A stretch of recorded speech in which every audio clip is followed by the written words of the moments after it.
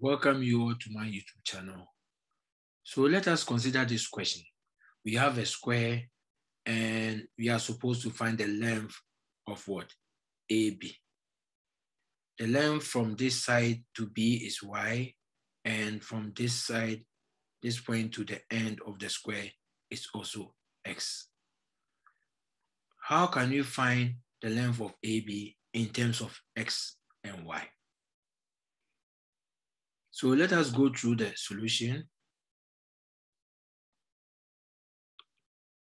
So in this case, we can represent here by what? Theta. And here too by theta, right? And from there, this side, because the angle is 90, so this side be what? 90 minus what?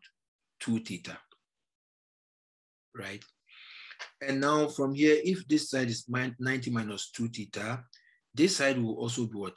Theta, uh, 2 theta, because the angle, the sum of angle in a triangle add up to what? 180 degrees, right? So now we can also, when you look at it, this side is x, uh, this side is x, and this one is theta. So we can reflect it to this to the left side, right? So we can draw a line here. So this whole small triangle will be reflected to the left side. Okay, so why do we need to reflect? Because when we reflect to the left side, it means this whole angle, right? We will add theta to this side, right? So this side will be theta because here is theta, here is also theta. And now if this is theta and this side is also 90 degrees, this side will be what?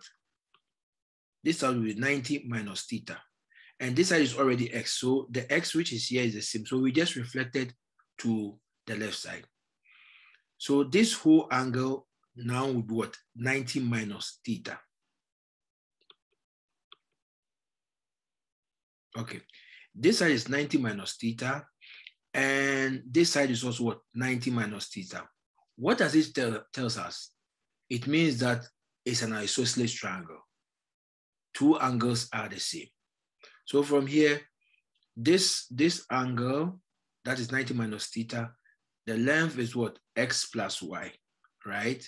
So if here is what 90 minus theta, automatically the length of AB will be what? X plus Y.